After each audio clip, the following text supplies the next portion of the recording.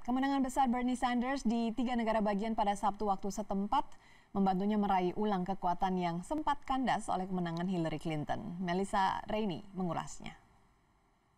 That our campaign has the momentum you are the momentum. Bernie Sanders speaking to a cheering crowd in Wisconsin late Saturday after sweeping the caucus states of Washington, Hawaii, and Alaska.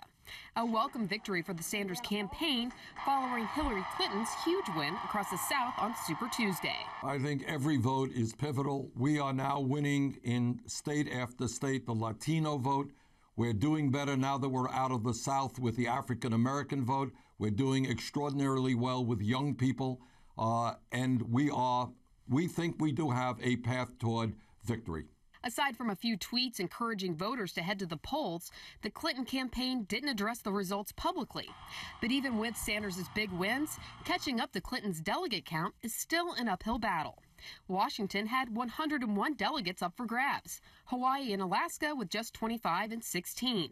Tuesday, Wisconsin will hold its primary, and 96 delegates are at stake.